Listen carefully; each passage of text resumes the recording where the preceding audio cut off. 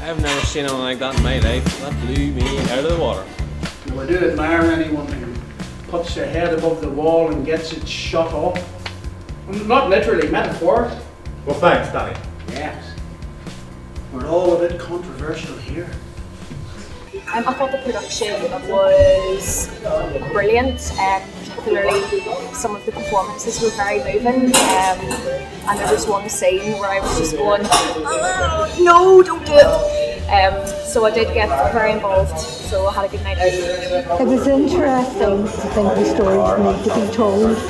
Um, I found the production values, the technical aspects of things very impressive. And I think the performers did an amazing job.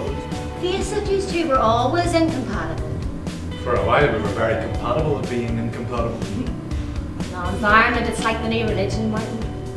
I mean, like you're living with a fundamentalist and you're not even a believer. I think it is relevant, if, you know, relevant everywhere in the world. Maybe uh, a play like that will help to put it more on the agenda. We'll live here, quietly, and it'll be our little burrow away from the world.